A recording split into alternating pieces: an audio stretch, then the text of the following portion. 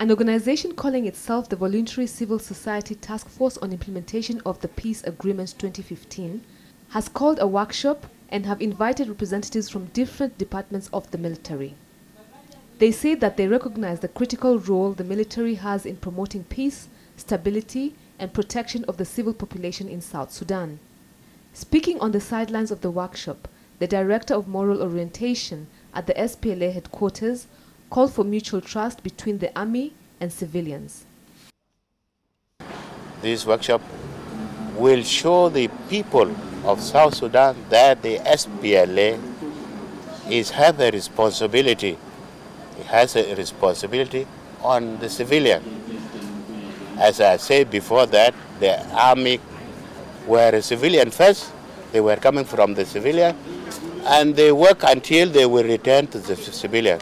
So they should have a good relationship with the civilians because it is where they originated from and the, the place we, we will they, they will return to.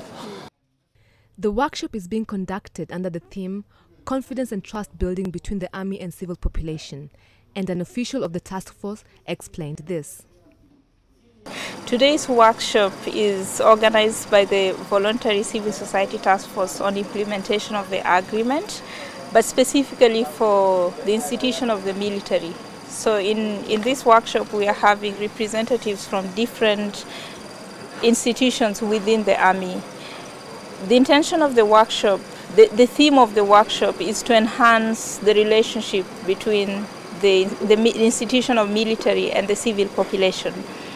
And we're doing that because we feel that it's our civic, civic ob obligation as citizens of this country to be able to build the institutions that we have, but most importantly, to also look into the concerns of the security concerns of the civil population and the civil society actors in this country. So today's meeting will look into the relationship, the perception, the citizen perception of the institution, but also the perception of the institution about their relationship with the citizens. We'll be looking at what we can do as citizens of this country to enhance that relationship and also enhance the capacity but finally, you realize that we are now implementing the agreement as South Sudan as a nation, and that implementation is very important. Not unless we all understand the provisions of the agreement, it will be difficult to implement. So later we'll be unpacking the agreement and be able to understand how the civil society and other stakeholders can link their responsibility to the institution of the military. The Voluntary Task Force on Implementation of the August Agreement 2015 is a coalition of over 20 civil society organizations who came together so that they can monitor the implementation of the peace agreement and participate in the implementation of the country's peace agreement.